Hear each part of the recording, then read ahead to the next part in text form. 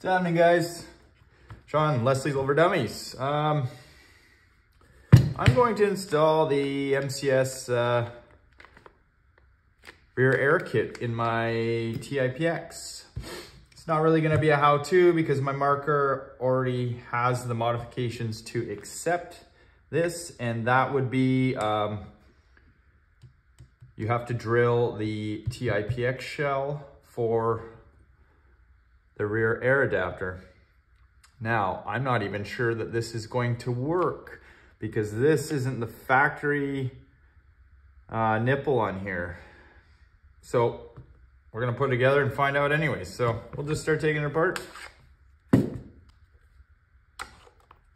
The other thing you need for this kit obviously is the CMP kit uh, from MCS as well.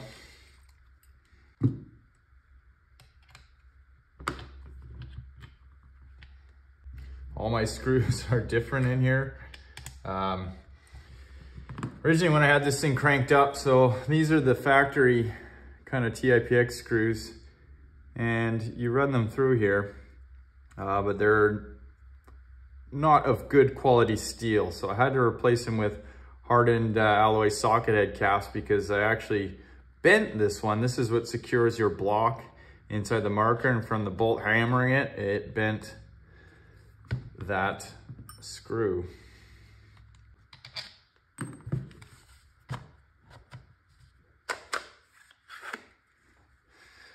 Huh, hasn't seen the light of day in a while. One of my earliest modifications was making stuff shiny. oh, CO2 cap. I also have an aftermarket trigger and mag release on this. Uh, honestly, off the top of my head, I can't remember who those came from. It's a Canadian company though. They are aluminum and they come in anodized colors. Um, when I post this video, I'll put a link in the video description um, so you can find them for yourself.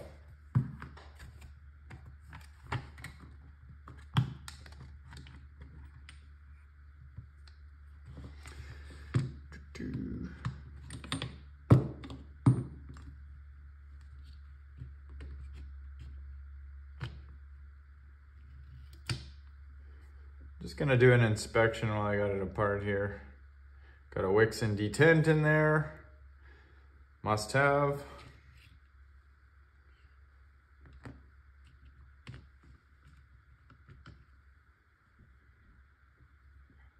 And this hasn't been fired in a while. And I, and I spoke about this in somebody else's video.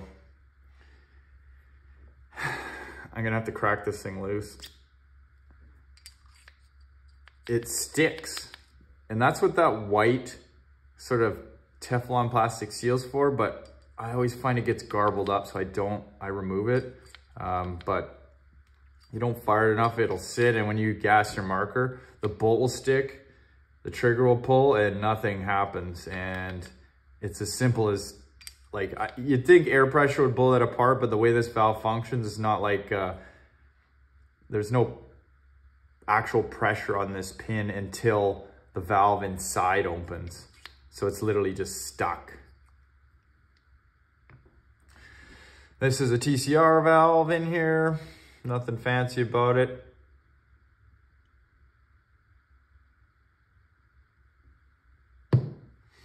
All right. This is also an intact regulator.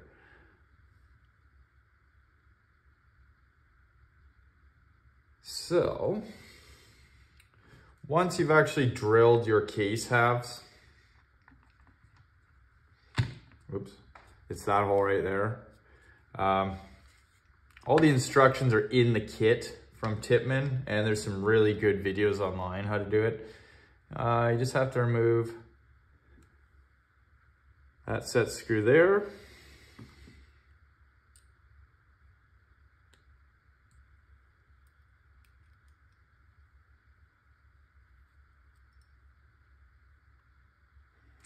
This little plug comes out of there. You set it aside, you reinstall everything into your marker, and this piece threads in and replaces that. So let's see how that works out.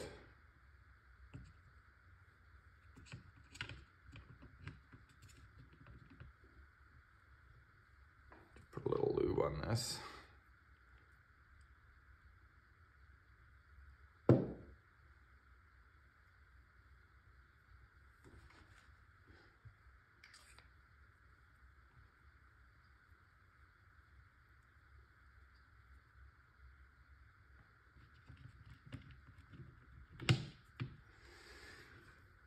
Go. Put your bolt spring back on. Tricky part is this rubber bumper here. Good thing about the Wixon detent is that it stays in place. The factory uh, detents, when you, as soon as you flip it over, they fall out and it makes this even harder. So you just lift up a little on the spring here, get the block going.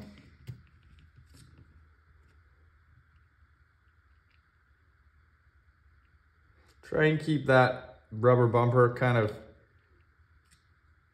in front of this little magazine release here. Just push it together, kind of hold it down, and then the rubber bumper should kind of fall into place. And then I usually just take a little, uh, little Allen key or whatever and just kind of make sure it is set down there. And don't worry, it doesn't have to be perfect. Once that bolt rams that once, it will be set in place. All right, we'll put our block back in here.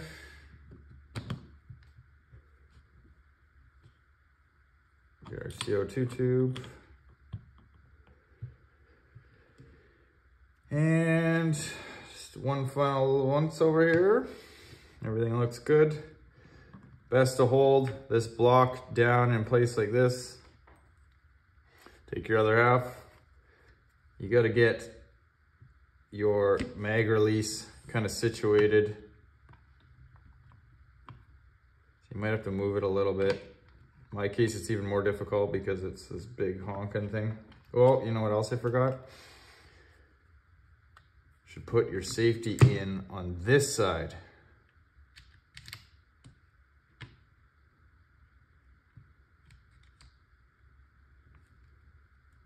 Just like that. I slipped everything out of place. That's how easy it happens. This pivot pin here, I lifted it up on it and it uh, lost its location. There we go.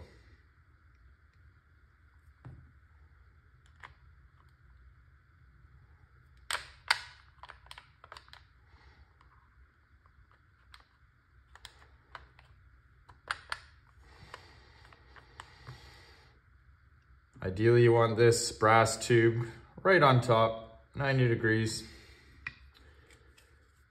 Now that my safety's in there, it should be a little bit easier to put this thing together.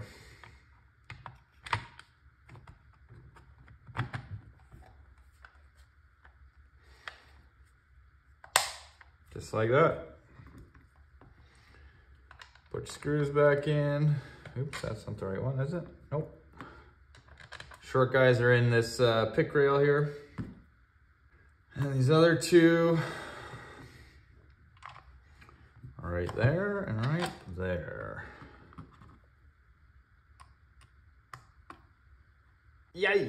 Yeah, yeah, yeah. All right, at this point, I'm gonna put my rear air adapter in. put a little bit of oil on the end here. There is a tiny little O-ring right there. So it does need some lube. Biggest mistake people make is tightening this thing in with a wrench. It does not need to be tightened in with a wrench. You just get it lined up. My hands are slippy.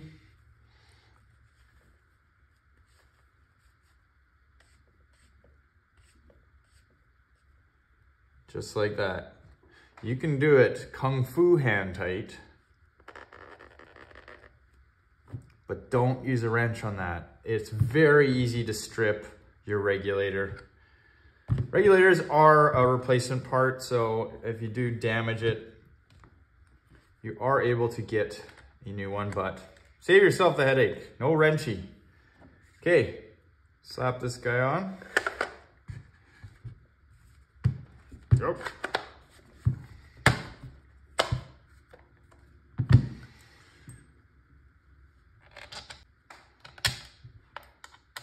Just watch your nuts don't push out the back. uh, had to say it at least once, right?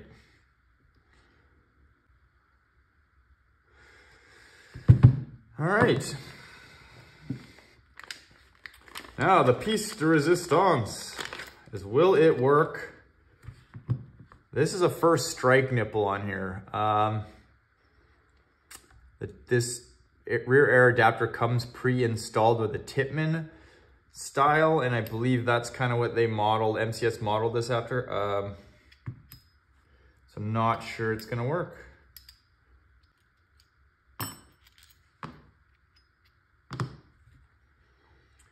Okay. If I remember, they said to put some little dab of oil in here. wonder if it'd be better. Let's just put it on the nipple here.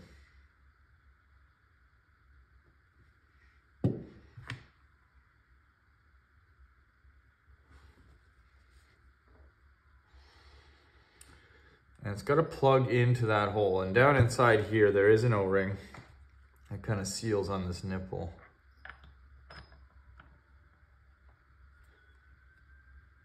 So you just kind of go in like this and then you rotate it in. It didn't feel very positive there. So we'll have to see how that works. And then take your other side, match it up. And drop your screw through.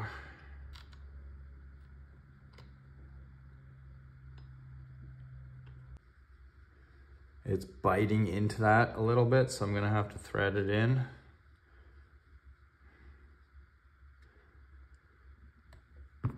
Before I get too crazy, I'm gonna put the other side on. So it's protruding out the other side now just a little bit.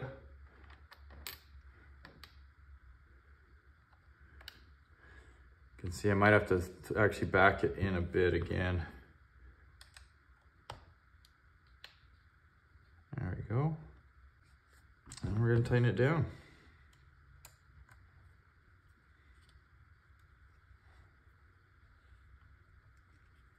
You can see it all closing up nice there.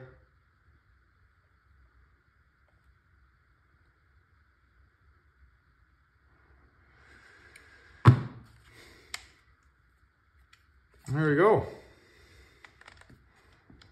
Back installed. Now, if you're running anything through the front here, or back, back, sorry, you have to have an empty CO2 in here. So I'm going to, I don't know what I'm gonna do yet. Hang on. Let me go grab some stuff and we'll uh, test fire this thing. All right. Couldn't find a plug, so I'm just gonna run this GOG in the rear in the off position to act as my plug for the moment um, so that I don't waste a bunch of CO2 trying to figure this out uh, in case this leaks here. So I got a 12 gram. Let's put a little drop on the tippy top. Load her in.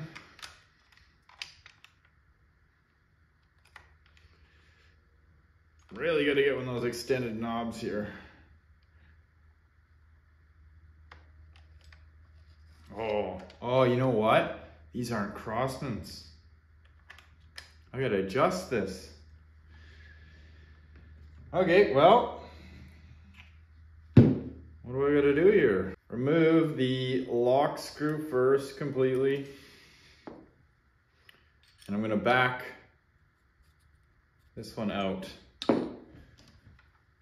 And I'm just gonna put it in the marker. It should go in pretty easy now. There we go. What I want to look for is, I want a little bit of play. That's too much. So, just give it a little twist.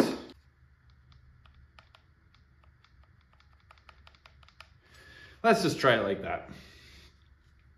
Put your lock screw back in. Don't lose it. That's what she said. Oh boy. Anybody see where I put that screw? Let me check my pockets. Aha, there it is.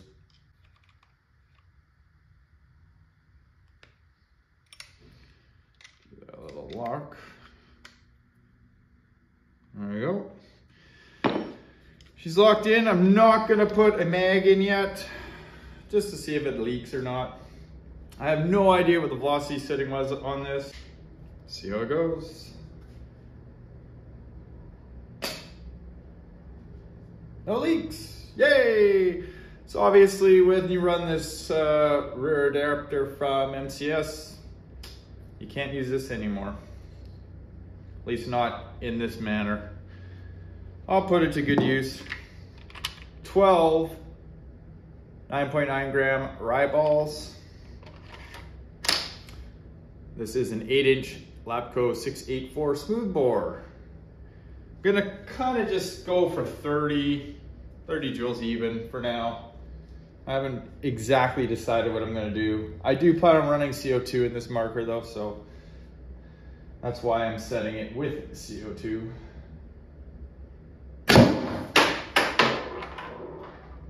Well, 166 is not 30. 30 joules is about uh, 260 feet per second.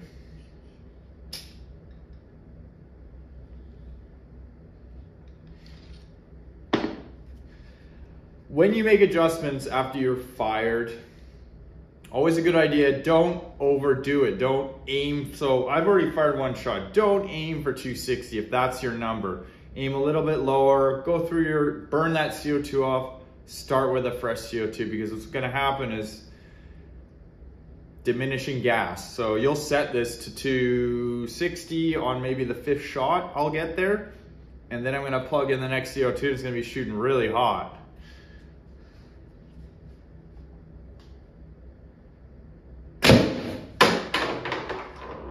Two ten. Can probably go a little bit more. Oh, another half turn. And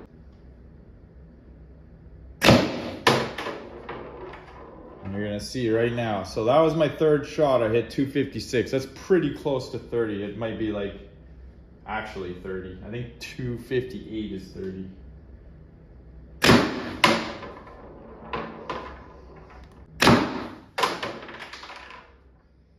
Do another half turn.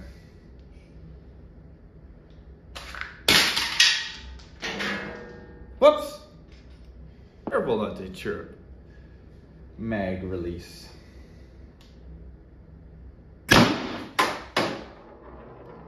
Two ninety. Two sixty four. Two thirty eight. Two eighteen. 198, 184, 166,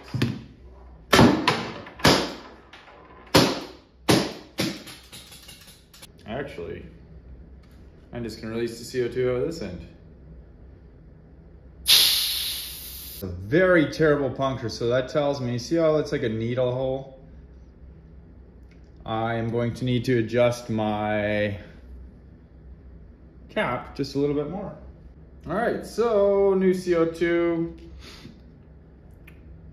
new Mega 9.9s. I made a CO2 cap adjustment and there's like a 16th of an inch of play there. That should give a really good puncture. Uh, I didn't touch the velocity setting. I'm just gonna run this one more 12 gram and then I'm gonna leave it in place. And I'm gonna do a 16 in the back and see how the numbers jive together. Puncture? Good puncture? Sounded like good puncture?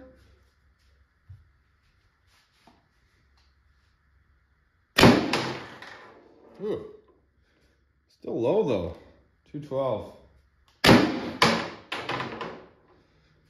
Ramped up a little. 236. And then down again. 214.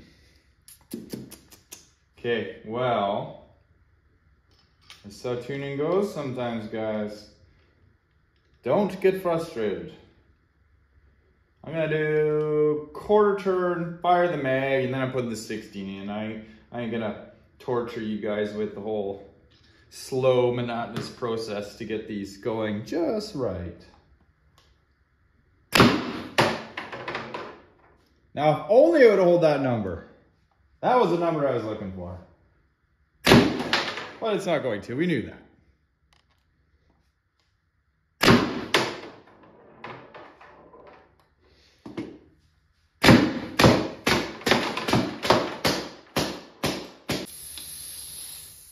Oh, let's take this guy off of here.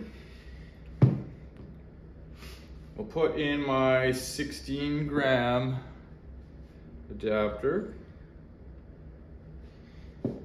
Put a drop of lube in there. Now you can see where I'm going with this. I mean, you could run a 12 gram here and an additional 16 gram in the back.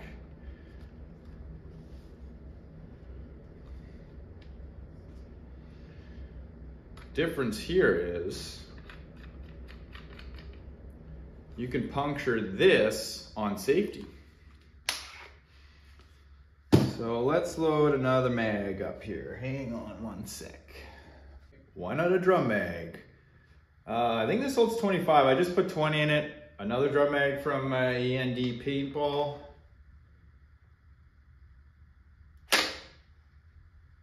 ADN paintball. I don't know, I you're too easy to too easy to screw that one up. All right. Safety. Punctured. This one was empty, remember. So this is just 16 gram.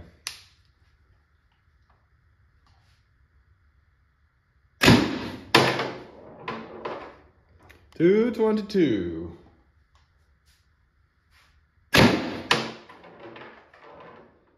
222. Interesting, there's no change in velocity there. 224. Not gonna adjust the velocity.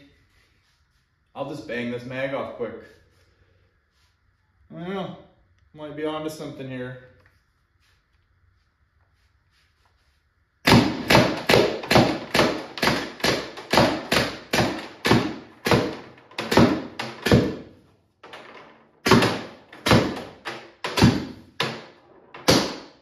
About a 12 gram of I'm sure I could have got all 25 actually.